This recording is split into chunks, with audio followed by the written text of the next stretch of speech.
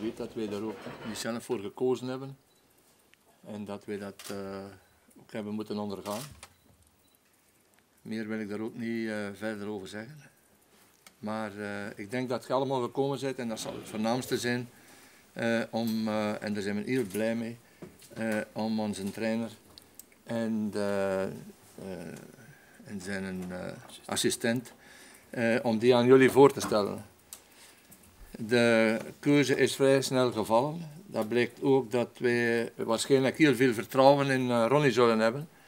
Uh, en uh, dat wij veel vertrouwen hebben uiteraard in hem. anders kun je niet zo vlug een keuze maken. En ook in Wim. En ik denk, en ik heb het gevoel, ik heb het geluk gehad ook nu er even nog toch wel even, een beetje mee te praten. En ik denk, hij heeft ook bewezen in, in Leuven dat hij een ploeg uh, vrij goed kan sturen. Hij heeft het anders, hadden dat ook geen drie jaar vol. En ik denk uh, dat hij hier in, in Waasland-Beveren de perfecte man is om op een familiale manier, en dat willen wij ook zo, deze club te leiden. We zijn een, een familiale club en dan verwachten wij ook van de trainers dat zij diezelfde lijn doortrekken uh, in het, uh, zowel naar de spelers toe, maar in het ganse sportieve beleid uh, van de club. Ehm, ik wil dan ook graag aan Ronnie zijn, het woord geven om zijn visie en, en, hoe dat hij het ziet voor iedere als te fungeren. Ronnie. Dank u voorzitter. Uh, goedemiddag allemaal. Um, ja, ik, ik, heb een uh, telefonisch contact gekregen in eerste instantie van de sportieve directeur De Maarschalk uh, om mij uit te nodigen voor een gesprek. dat was een zeer aangenaam gesprek met een aantal mensen van het bestuur, waaronder meneer Poppen.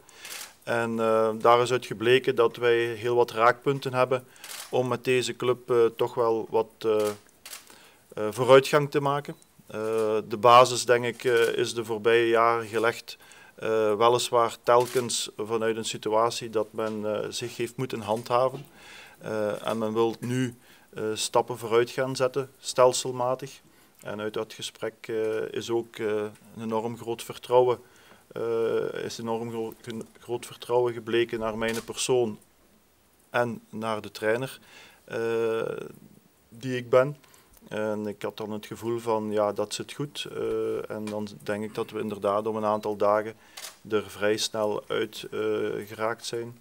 En uh, is er een tweejarige overeenkomst in eerste instantie uit voortgevloeid, waarin wij in die twee jaar gaan proberen een aantal accenten te plaatsen.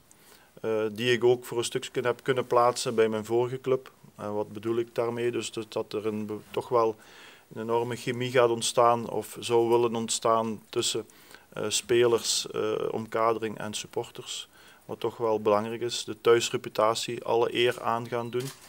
Uh, zodanig dat de tegenstrever toch wel met een beetje bang gevoel naar de vreedhiel afgezakt zou komen. Ik denk dat dat toch wel onze eerste stap is die we graag willen zetten. En voor de rest is het dan toch wel een stukje verder borduren op datgene wat de voorgangers hier neergezet gezet hebben. En uh, op dat vlak denk ik dat uh, de uitdaging uh, zeer groot zal zijn. En kijken we rijkhalsend uit naar, naar de samenwerking. Dank u, Ronnie. Ik, nee, weet niet of Wim nog iets aan toe te voegen heeft. Ik denk niet speciaal. Ik wil ook vooral meedelen dat ik eigenlijk uh, persoonlijk zelf heel gelukkig ben om hier op, uh, op Waasland Beveren uh, een job te mogen vervullen. contacten zijn ook heel snel gegaan in de voorbije dagen. En ik kijk er naar uit om de technische staf zo sterk mogelijk te maken. En van daaruit een, naar een sterk team te werken, zodanig dat we de club op de positieve rails kunnen blijven verder zetten. Dus ik, uh, ik denk ook dat we kunnen zeggen, uh, een, allez, ik, ik ben wel voorzitter, maar niet sportieve staf. Maar er is toch een consensus dat wij ook zullen Ronnie, aan Ronnie toch wel de nodige spelers geven die hij nodig zal hebben om een goede ploeg samen te stellen. Ik denk ook wel belangrijk dat dat, dat, dat in de komende weken of, ja, zal gebeuren.